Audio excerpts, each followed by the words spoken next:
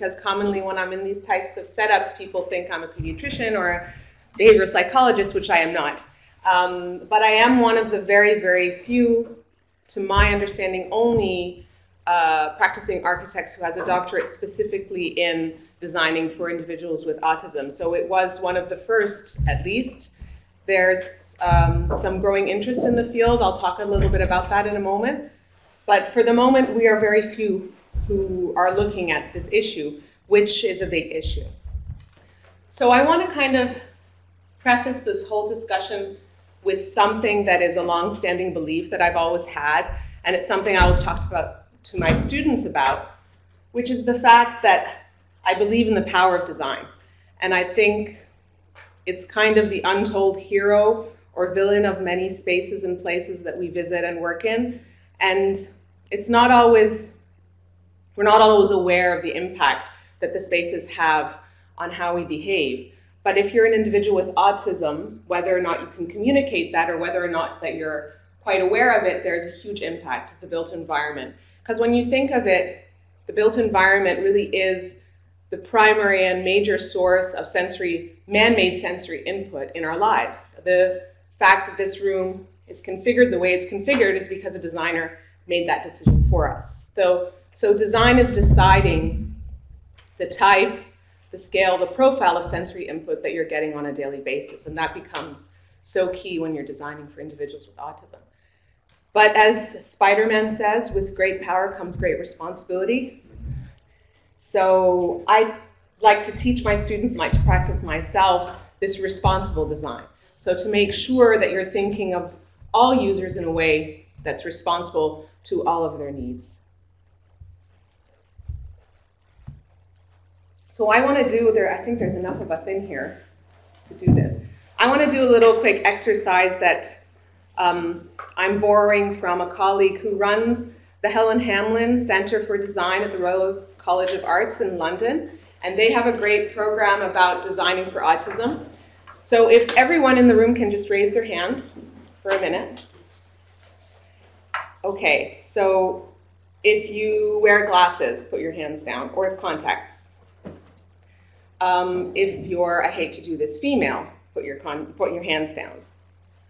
So we just have Scott, and you wear glasses and contacts, so no one here is male and doesn't wear glasses. Wow, we eliminated really quick. Okay, so that means that this diagram applies to no one in this room.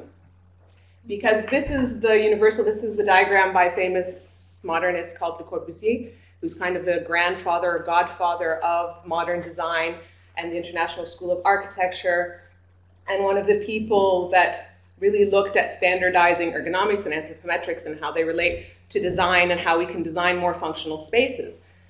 The only problem with this very historically valuable diagram is it only applies to a six foot, completely able bodied male figure, which none of us are.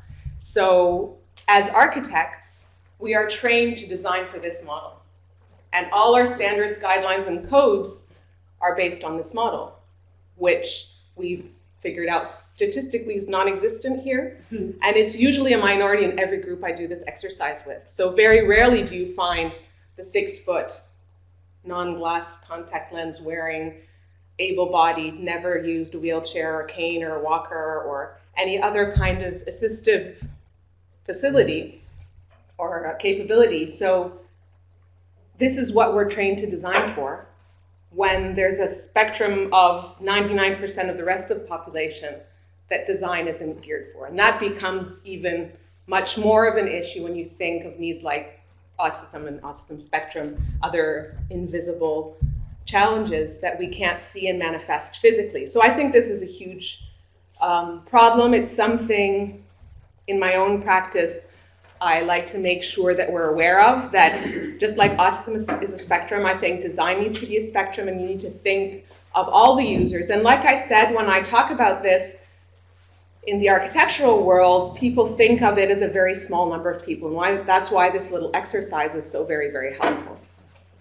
Um, so we're going to be talking about those margins of people outside of this quote unquote normal diagram of standards and shapes and sizes.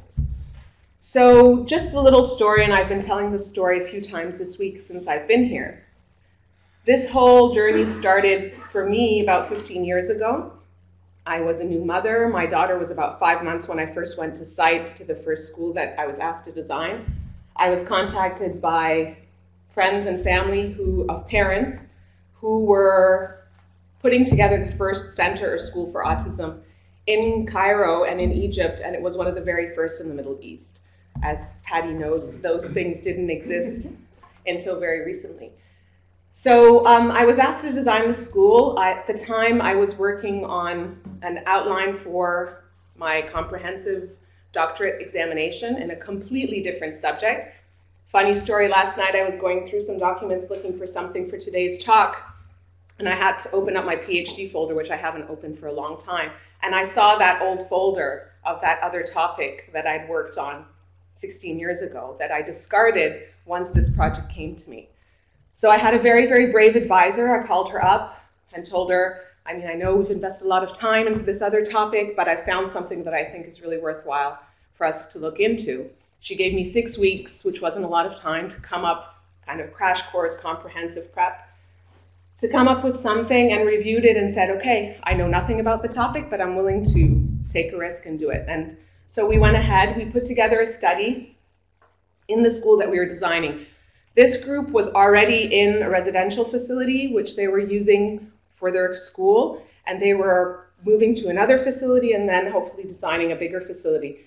So we had an opportunity to pilot and test things, and Scott and I have been talking about doing something similar here to try out our ideas, these hypotheticals that we had from our preliminary observations of the kids in their spaces.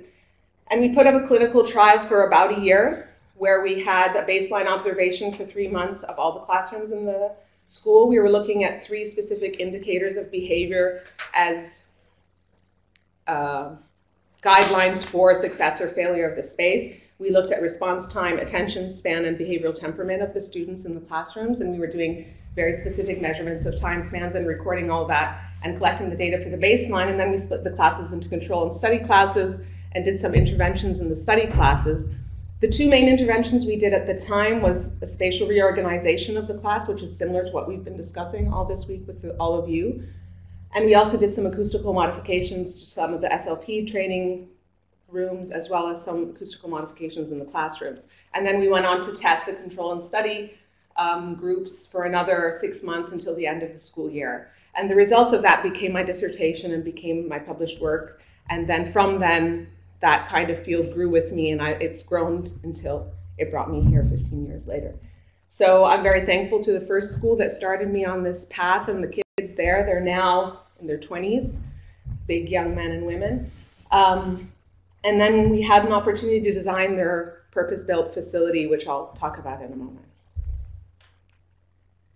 So the result of that first original study, in addition to um, consequence studies in home environments um, and other school environments, I've designed or come up with and summarized my findings in what Marlene introduced, this ASPECTSS index, design index.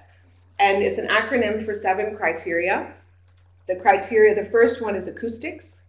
And I remember when I was first um, kind of doing exploratory research with parent groups on what they felt were the most important sensory cues from the built environment for their kids and getting an email back from one mother here in the United States in New Jersey. And I remember he, it was a long survey that I sent and I was expecting like tons of information and data and she wrote back three words, acoustics, acoustics, acoustics. And I've always remembered that and how key and important it was um, to her. So acoustics became the first criteria that we like to look for. And I just want to say that the index, it's not prescriptive. It's not like code. It's not like regulation. It's not like ADA guidelines. It doesn't say the room needs to be X by Y by Z. It doesn't give specific numbers, doesn't give specific ranges even for any of these requirements, but it gives a framework. Um, it's what the what they call in the British system of special needs design a catalyst for design guideline generation. So it's a framework around which you start thinking about what is the acoustical environment of the space that I'm designing and how will the students perform within it and what can I use as data as a reference point to see what works and doesn't work. So that's acoustics. Um, there are two things when we come to talk about acoustics. There's like the noise transfer from one place to another, and that relates to the quality of the, the partitioning. But there's also the reverberation and the bounce and the echo that we've talked a lot about this week at school. The second criteria is spatial sequencing. And a lot of times, um, and this this began as a hypothetical that was just kind of an instinctual feeling for me because the issue of routine and adherence to routine in the children's everyday lives at school kept coming up in every conversation we were having. And at the time, about 15 years ago, the school of thought was trying to break that routine and have them normalize and be able to be more flexible and not so obsessively attached to the, to the routine that they were used to. And then one therapist um, who was doing something a little bit different, he said, I actually use the routine. That's something that now a lot of OTs do, for example. They use the love of routine and the love of structure to kind of subliminally sneak in other bits of learning and information along the way. So I said, so why can't we do that in space and design? So why can't we organize the school as a whole, the classroom, the bedroom, the home, in a way that follows that routine that the child or adult feels so comfortable with?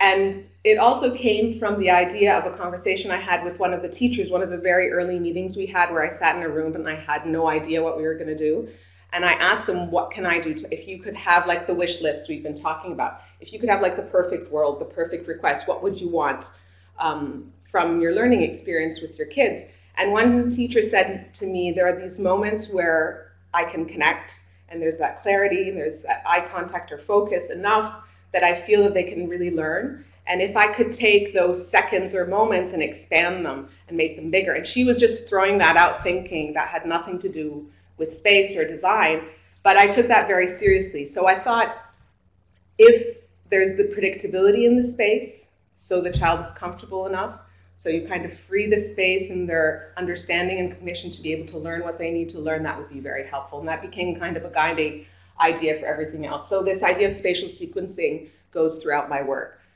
The third criteria is escape. And um, the idea with escape space is to create a refuge, a place to go to when that sensory environment is just too much and you need to break away from it. And you also need to limit the kind of input that you're being forced to deal with. So, as opposed to having to deal with 30 faces and 12 lights and these hanging microphones and everything else that I would imagine be very, very distracting, the pattern on the floor and everything that everyone's wearing, all that stuff, when if you need to pull away and get into a small space for a moment just to readjust and then be able to enter back, that's very helpful. And we've also talked about this a lot. The the thought may be that that escape could be so tempting to go there and just stay. And that actually was a fear we had when we did in the original study. Because part of the modifications we did was put in an escape space in one of those early classrooms. And I remember convincing the teacher to give it a try. And she was like, I have one girl in my class, if it's there, if there's like the bean bags and the sensory stuff that she needs, like her little texture ball or her little music, she's never going to leave. She's going to go in there and I, I won't get her out. And that's exactly what happened the first couple of days or weeks.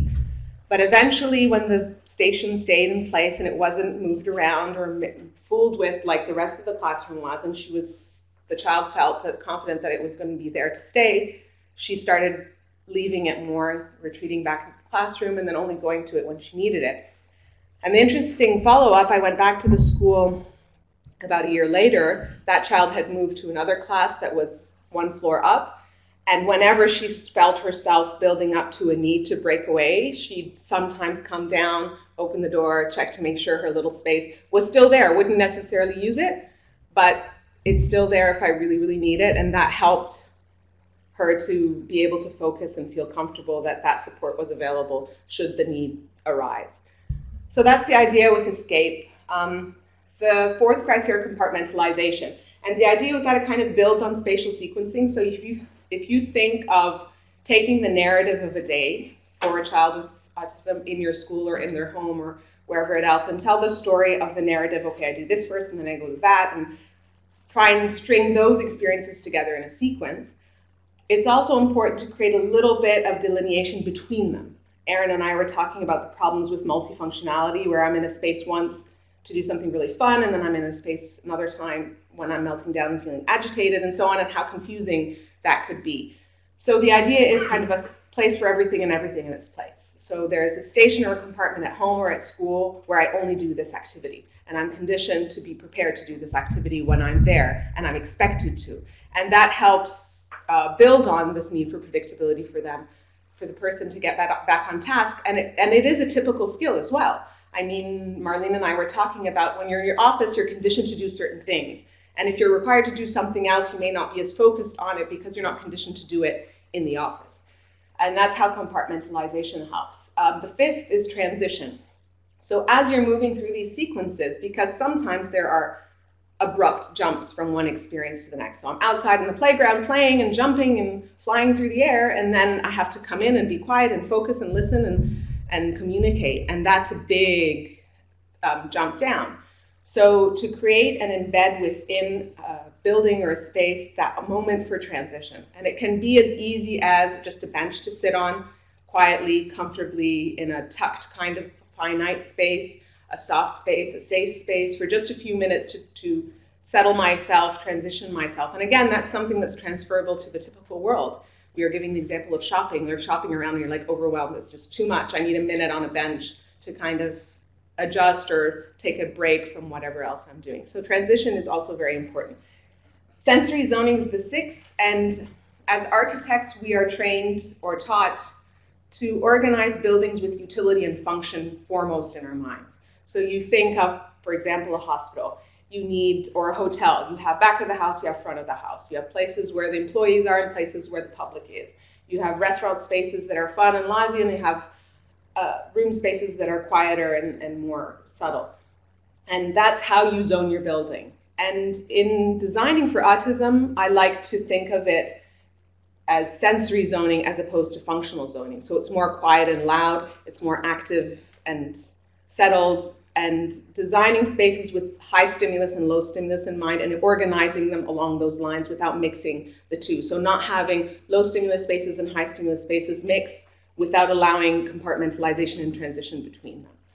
The final um, criteria, which really should be the most important thing on the list, is safety. And safety comes in all forms. It comes to access to buildings like this, who gets in, and what kind of permission and security they have to go through to get in. It also relates to kids leaving premises, so how do they get out and how do you control um, them eloping and leaving unsafely from somewhere. It also talks about physical safety, like edges and spaces and textures and surfaces that are safe. Um, a parent from the board was telling me yesterday that he routed his sills at home. So he has soft edges on all his sills, so they're not like a sharp edge that his child could hurt himself or herself against, which I thought was a very smart idea. So this idea of making sure that everything is safe and kind of anticipating injury. And another great suggestion was to bring in like an ER doctor and have them reverse engineer a room and say, oh, I know an injury that happened just like that, and then work backwards from there. But to have safety really clear in your mind. So to summarize all of that, the general philosophy is to calm things down, to break them down into manageable pieces, to then sequence them in a way that makes sense to the schedule and the routine of how we want to go about our day, to transition between them, and then to allow for escape anytime along those points when you need it. So that's kind of just a general guideline. I'm not the only person who's been um, looking at design for autism. Uh, our work is one of the few who's done kind of evidence-based clinical trials in a setting and looked at the results. But there's a lot, there's a growing number of a handful of work that's out there. Um, so this is a list of some of the things uh, that some of my colleagues are also doing and some of the legislation bodies like the UK's Building Bulletins, which is part of the Department for Educational Services, and there are requirements and recommendations for autism, which are very minimal. That that's about it.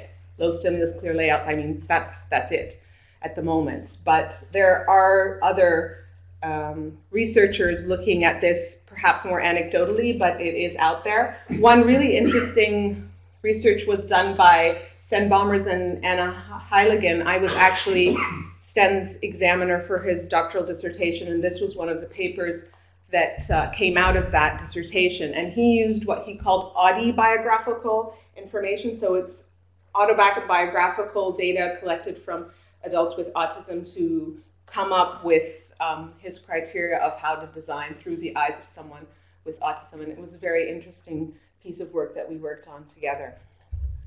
So just to summarize that kind of literature in the timeline, so in 2002 we did the first evidence-based research that ultimately led to ASPECTSS.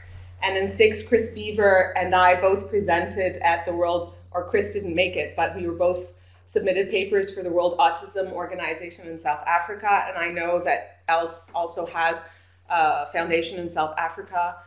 So South Africa, from the continental perspective, is very much ahead of other countries in that continent when it comes to special needs and autism particularly, which was good to see. There was also a researcher who looked at what he calls the neurotypical approach. I don't have that example here because I wasn't directly involved with the pro- project, but he advocates for almost the exact opposite of what I advocate for, which is neurotypicality in everything.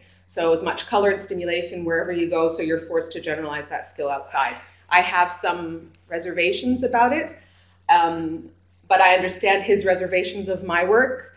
Uh, but I think it comes from a little bit of a misunderstanding. There, I am not advocating in this for what I call like a greenhouse, where everything is perfect and set to exactly what is best fit for that group's needs now.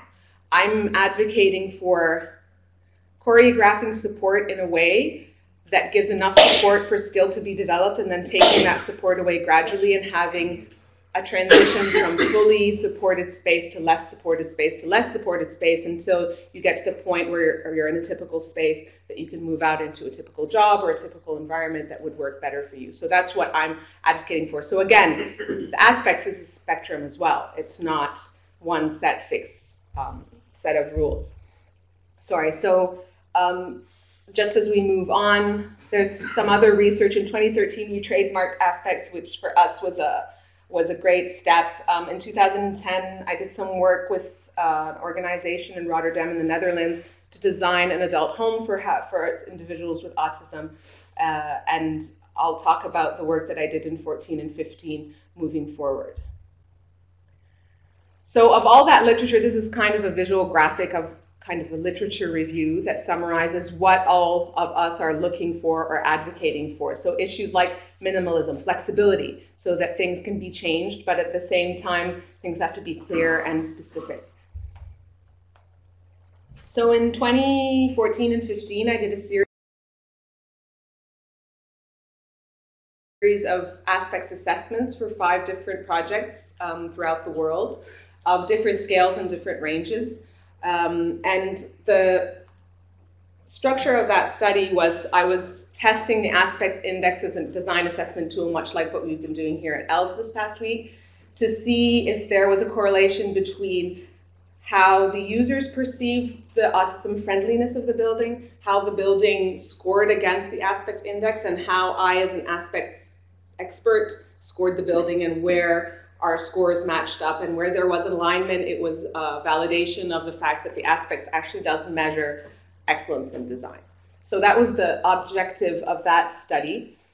Uh, this first school is Acland Burghley Autism Resource Center by Chris Beaver, who is a UK-based architect and one of only two that I know that is really qualified and, and um, practicing in this area in the UK. This is a resource center that was an add-on to an existing public school, uh, and it provided various spaces of classrooms and therapy and some social areas as well. It was very connected to outdoor spaces. Um, and Chris talked a lot about the corridor spaces and lighting, the flow of space as well. And there was a lot of alignment between his work and the ASPECTSS. These next two projects are designed by an architectural firm in Australia, based in Australia, called Hede Architects, led by Paul Hede. And this Northern School for Autism, both of the schools that they've designed have similar concepts in that they have kind of central space and they have a central core of general services, so like music, art, auditorium, and so on, and then fingers branching out into classroom clusters uh, that would be organized around age groups and skill level and so on and so forth. So this is one of uh, Paul's work um, in the northern school, and this is a bird's eye view of the completed project. And what I like about the school is that sensory space in the middle. They have that free-flowing uh, walking path that we've been talking about, perhaps introducing in our courtyard here, and this clustering of these classrooms in very distinct kind of modules of space that um, make it clear where you are and what you're doing in different parts of the building. Uh, I think they did a successful job with the sensory environment outside in the playground. So the outdoor space, they've integrated it well, and they're using it as a transition space between one activity and another. So as you move from the general hub of music or art and go back to your classroom, you can transition through this sensory space if you need some tactile reinforcement or something to adjust as you move in. They have a trampoline, which I was told yesterday, American Pediatric Association does not allow in schools here in the United States. So I guess in Australia you can get away with it, but not here. Um, so another view of, of the playground uh, and that bicycle track, but that also could be used as a walking track, which one of the parents that I met with uh, thought would be a great idea. This is another one of Paul's schools, the Western Autistic School campus, and this takes his idea, I think, a little bit further of this central cluster and then these fingers of classroom clusters. Uh, and the bird's eye view, you can see the same. And then in this case, most of the, the playground space wraps around the school as opposed to being in the heart of the school. So each of the clusters kind of has their own uh, playground space that they have direct access to. And in this, I like the indoor outdoor connection without it being too abrupt. Uh, but the internal courtyard space, like the one you have here, I think is better for moments and social interaction opportunities between different groups because in this case, only that class cluster uses the playground as opposed to having the opportunity to meet different people from different classes, different age groups, different teachers, practicing how you meet a stranger that you don't know and, and doing that in a safe kind of controlled environment. These are some shots of the corridor spaces inside in Paul's school and the Western School. And remember, I promised I'd show you the color coding on high alert kind of uh, approach. I think this is a little bit too busy, uh, and I would imagine would be for both sides of the spectrum would be a problem. Whether it's I'm very hypersensitive and this is too much for me, or I'm very hypersensitive and I just want to follow the patterns all day long. And in both cases, I'm not going to do very well um, when I get into the classroom. But the concept of using color for navigation and wayfinding, I think, is a good one. I think it needs to be used more subtly, and it's one of the suggestions that's been coming up in our talks here. This next school is actually the result of that first study that we did. This was the purpose-built facility for that first um, advanced school in Cairo. Um, and this is we designed from our firm in Progressive Architects that's Cairo-based. And the idea here is to separate, again, high stimulus, so the pool, physio, uh, OT, and so on, from the low stimulus, which is the classroom spaces, the speech th- therapy spaces. It's a multi-story building. It's not a single-story building like yours.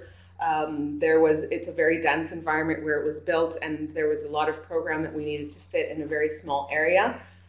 On campus in, in this building, there's also a residential, small assisted living residential facility that's part of the school but not part of the campus. So because we didn't want to have that institutional like feeling. So it's almost like they're neighbors. So this just happens to be an apartment building that's next to the school. So you'd have to circulate out and to the street and walk along the path to come to school and then the same thing. So it isn't like you can go straight from class back home.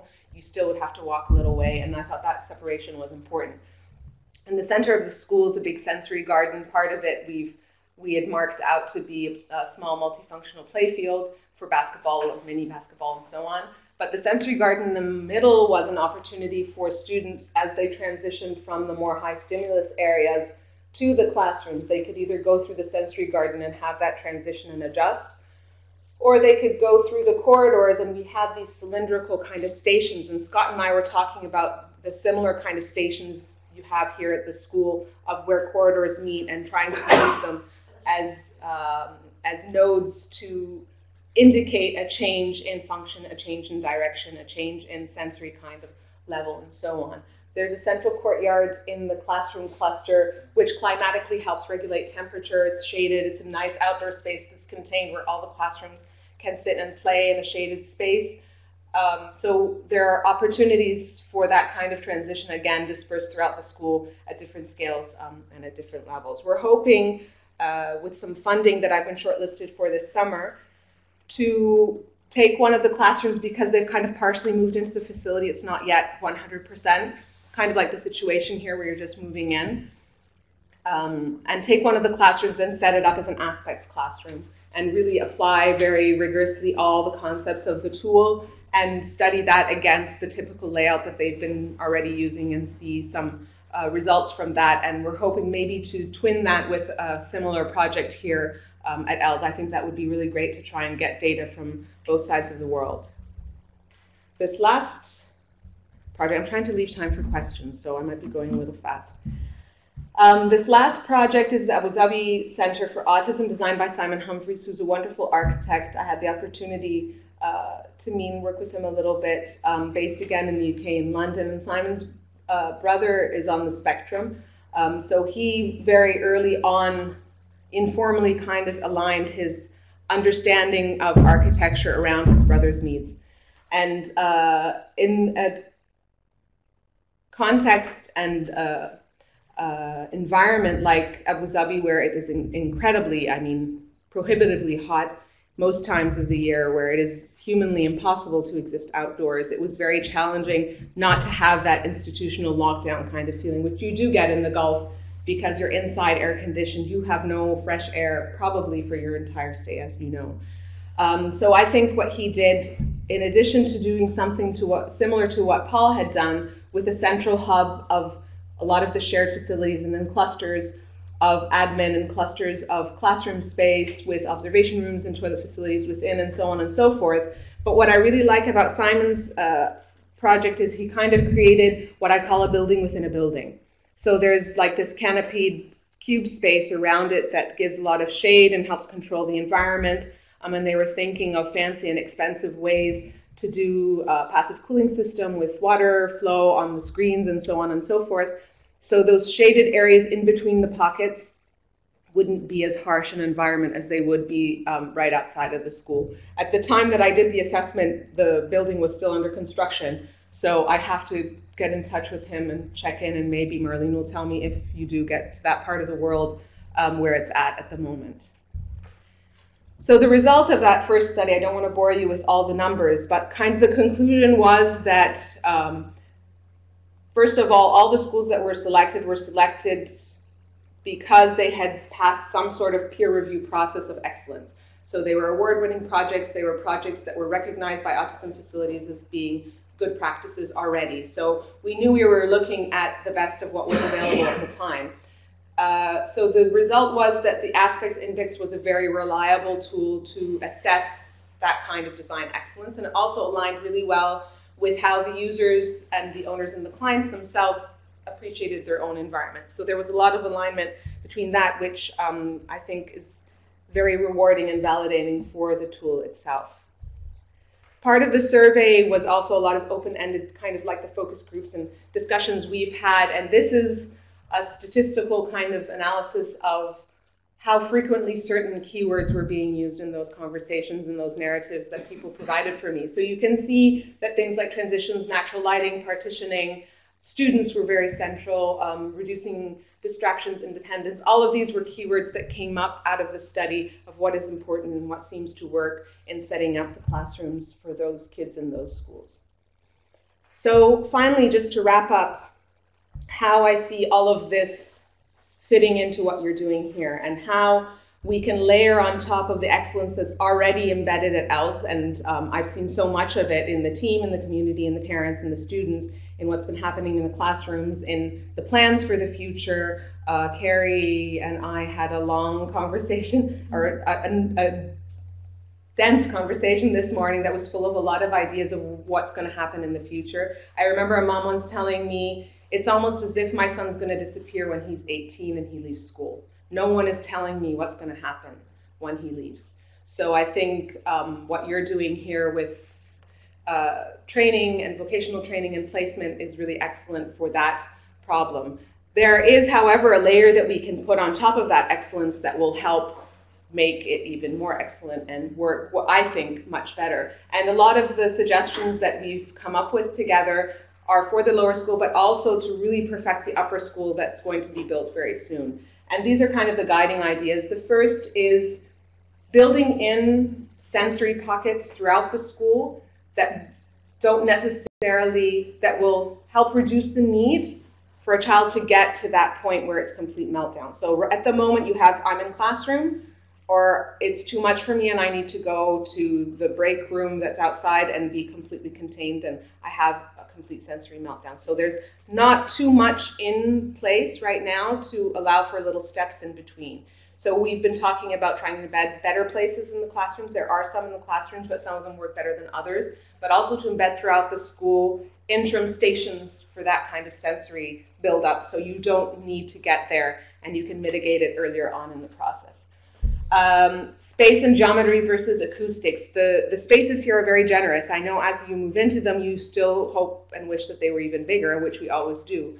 But uh, the corridor and the circulation spaces particularly are very generous. I think um, that's a wonderful thing because they're above spec and code for uh, typical class, typical school corridors for fire safety and so on. So they're bigger than they need to be, which is great because you don't break the flow of different groups of classes moving from different places or visitors moving around the school. Flip side of that, though, is you get a lot of bounce of noise around uh, the corridors and the acoustics. So that's one thing we've been talking about. Another thing is kind of independence as an ultimate goal and trying to build that into wayfinding strategies oops, around the school. Um, using color, using external views, and making it implicit. Also, efficiency in design, making sure that all spaces are used to the most efficient way possible, and that and compartmentalization helps with that. So you don't have a lot of space that's kind of wishy-washy and it's not sure what it actually does, and it's kind of just what I call leftover space which I hate, and it's a real waste, and you really want to utilize every inch of space that you have for something uh, specific, and also allowing for a little bit of multifunctionality. Generally, I don't recommend multifunctionality when it comes to designing for ASD because of that a place for everything and everything in its place concept. But at the same time, there are spaces that can do more than one thing without compromising that objective. So I think there's room for us to fit in a little bit. And again, I'm just talking about tweaks that are really luxuries to what is already a great facility. Um, and then finally, transitioning and transitioning on two levels, thinking about as you transition physically from space to space that we talked about, from indoor to outdoor, but also transitioning socially. So, what happens as I transition into a job or transition into an adult uh, or a residential facility on my own in independence, and how can we build that into particularly the upper school in a way that helps support some neurotypicality I've been making up a lot of words this week.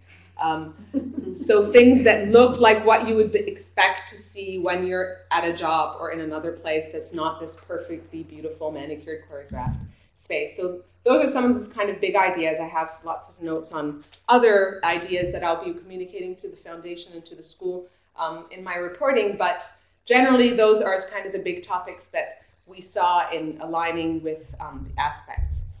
So I just want to leave it with kind of an optimistic thought of looking forward.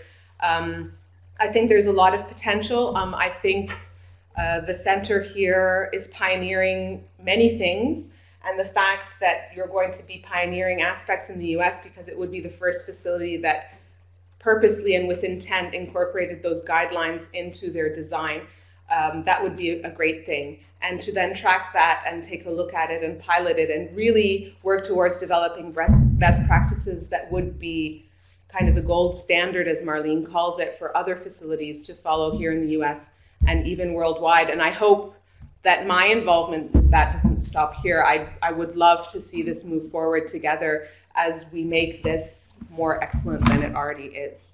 Thank you.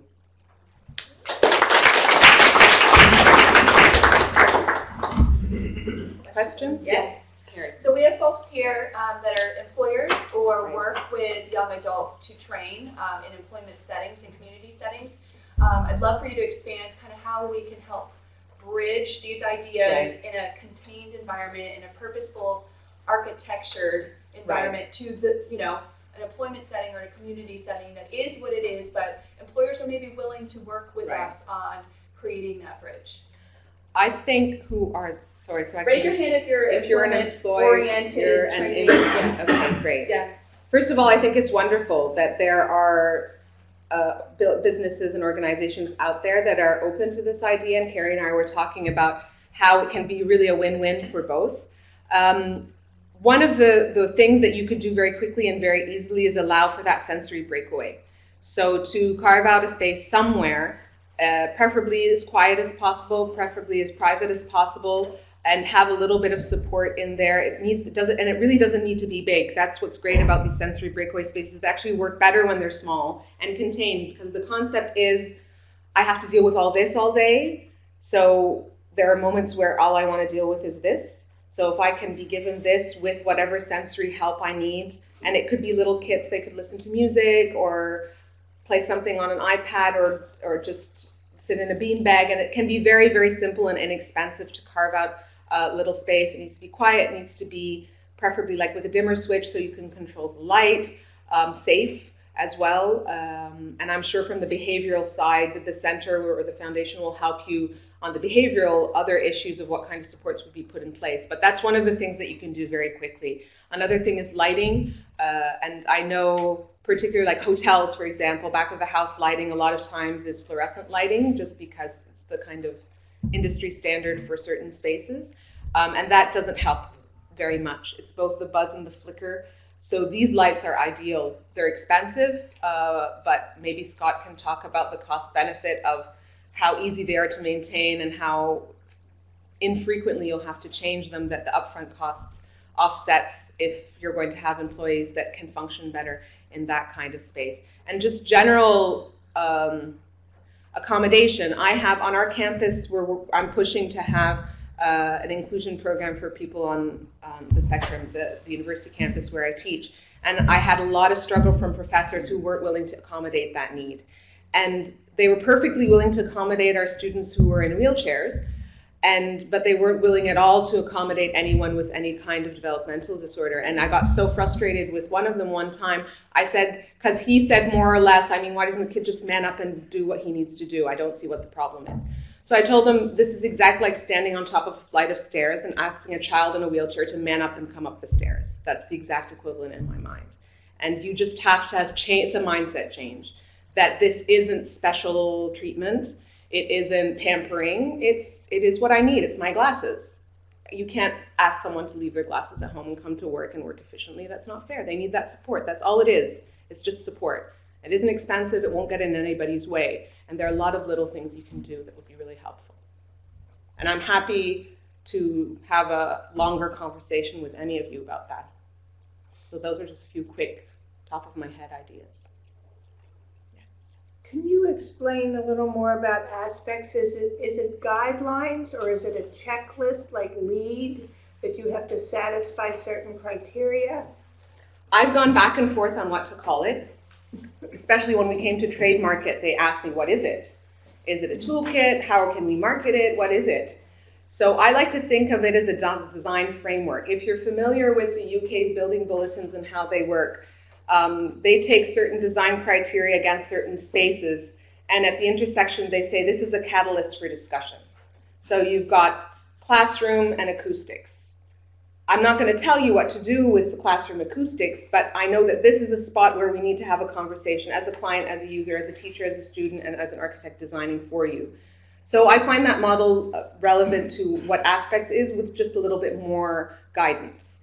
So it isn't just let's have the conversations, let's have the conversation and these are the points that we can talk about. So I think of it more of a framework and a mindset and things that best work together because there are elements there that need to work together. So like the spatial sequencing and the sensory zoning don't work without as well without the transitioning, for example. So some things need to work in, in pairs or, or, or clusters. They just work better that way. But there's no specifics. It's not, not prescriptive. Like, it's not like not code. Like voices shouldn't bounce off the walls above 50 decibels. There's there's research now being done. I just reviewed a paper. I can't give you too much information about it because it's not published yet, but I just reviewed a paper that is looking prescriptively um, in a more clear way of okay, so this is the frequency range and this is the reverberation time that is conducive to learning in this environment for this group of students. So it is an emerging field. It's something I'm trying to push forward because uh, you need that. Like facility managers will tell you, okay, so give me a number, give me a spec, give me something that I can deal with. And it's still such a new field, but I'm glad to see that, that it's moving towards getting more specific, but acoustics is a good example for specificity, but others will never be specific.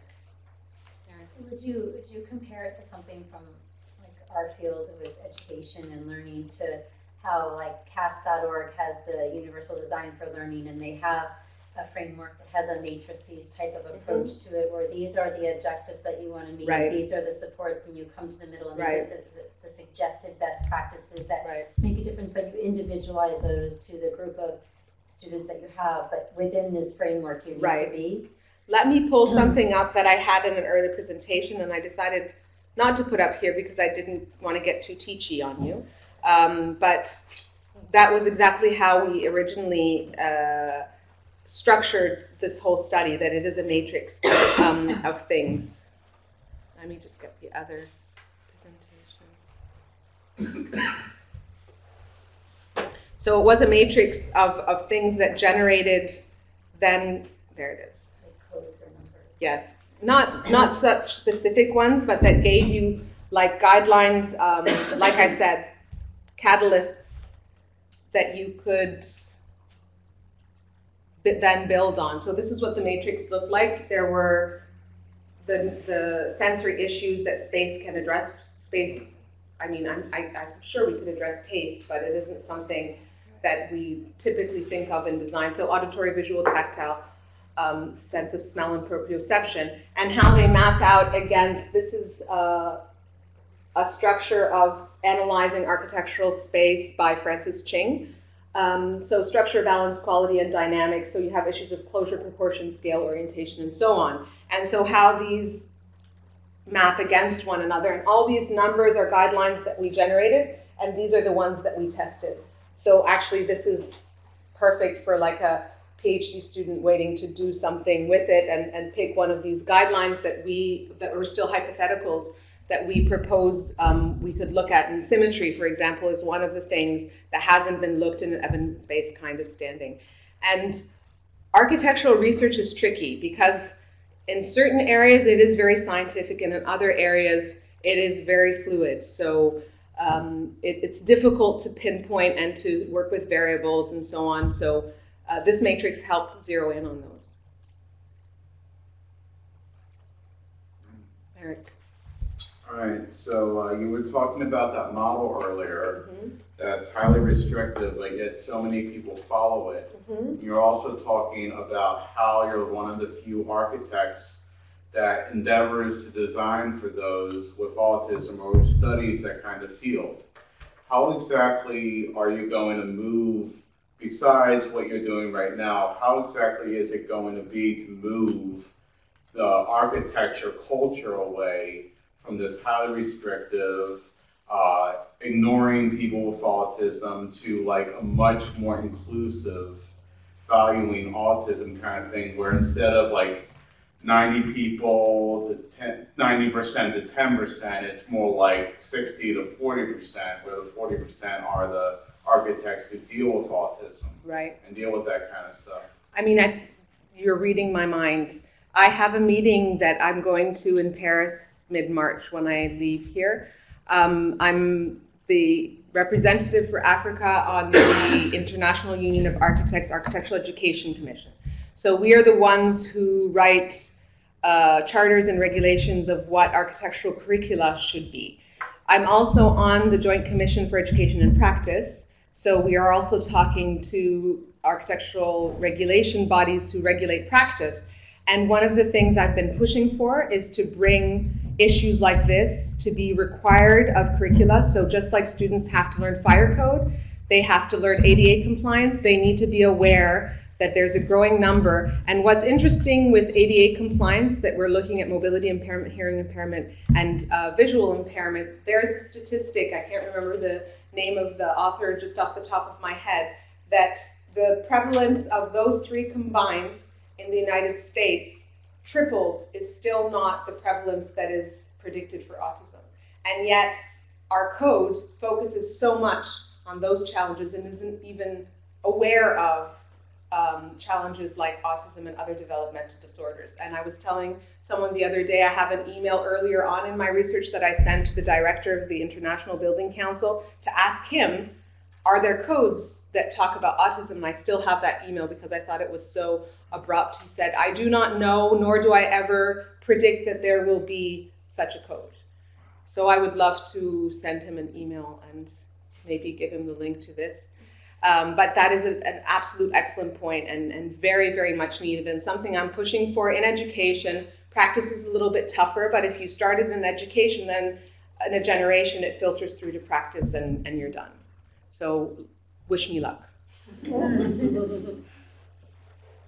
Scott. I have a question for you. Trying to generalize this because most of the facilities that you talk about are really trying to design the best educational facilities. Right. But when you started the discussion, it's about trying to move them and transition to adulthood. In your work, do you think the, the goal is to try to figure out how, as I've worked with a lot of developers as well, how you make typical spaces, typical workplaces, um, shopping malls, airports, places where you take your kids Right. as they get out, not in these special built educational places where they work well and they assimilate to it and it's all for them, and moving your work forward, how to take those elements, really incorporate them into more typically designed Right. places or criteria, what have you, um, to really streamline that into a Right. more, you know, uh, common generalized area. No, I agree with you. I've done some work on home environments. So, um, and there are two women here in the United States, um, Ahrentzen and Steele, Kimberly Steele and Sherry or Shelly Ahrentzen, that have done a lot of similar kind of work, giving guidelines for housing developers to help. Uh, but that's again specific purpose-built facilities. But in generalization, again, it's ideas like creating breakaway space. So imagine if in an airport, just like in some airports, there's like a prayer space or a little chapel or something, having something similar, a, a sensory break space that someone could go to that, like they have smoking rooms. I don't know they have them in U.S. airports. You don't have, do you have them sometimes? So I mean, we're, we're supporting smokers, which most people agree is not a good idea anyway. Um, and they have a right to smoke, but your kid doesn't have a right to a moment of peace. Right. And that's ironic. And, and if we can carve out the square footage and the cost that it needs to do that glass chamber, we could do it for a little space. So uh, that's one of the things that, but again, how do you get the facilities to buy into that idea unless it's required? If it's just best practices, so they'll say, okay, we just don't want to be the best, and that's fine with us. So uh, it's a bigger conversation. I think the UIA can play a really central role because as the International Union of Architects, we have representatives from AIA and from the Canadian Institute of Architectural Practice and everyone else from every country, 124 country member states that we have. And that to me is a great mechanism to get this put on their agendas um, to thinking towards making it required of certain public spaces uh, to have that put in place. Because again, if you just look at the numbers, you're looking at percentages that are higher than mobility challenges, hearing impairments, and visual impairments that we put supports in place for. Yeah. I think also now that there are, um, especially in the state of Florida, because we have the Center for Autism and Related Disabilities, which is a grant under the Department of Education. They're working with businesses that are just typically built and weren't necessarily built or hotels to be specific to autism-friendly sites. And being able to take information like you're giving and individualize it from an autism-specific point of view to have that um, specific business be able to make accommodations to their space that match their needs, but also are autism-friendly in nature. There's, there's an entire kind of training process for that now in the state of Florida. And then other businesses working together, if they're interested with the businesses that have already established those practices and been successful, I think that that is a nice way to, that you may see some evolution Right. in the places that weren't built purposely for those uh, reasons, to be able to utilize the resources we have, especially in this state, to at least get closer to um, the point than they are now. I mean, I think the process that I would recommend is if there's a cluster of businesses that are putting together best practices for support, other types of support, to tag onto that a conversation of assessing those spaces against ASPECTSS and ha- ha- identifying the gaps of where work needs can and needs to be done, and then see if the money is there, if the availability is there. Okay, this is what you need. You should need to do to make this more accessible um, for your employees and for your customers as well. I mean, it's not just your employees, but it's the people that come to your facility as customers, whether it's a shopping mall or a movie theater or a hotel, uh, with the, the CDC statistics changing, every time I go to speak, I always have to check what the latest the CDC has said on the prevalence because it, it goes up and up and up every time you check it. So um, with those kind of numbers, and businesses need to start addressing that population.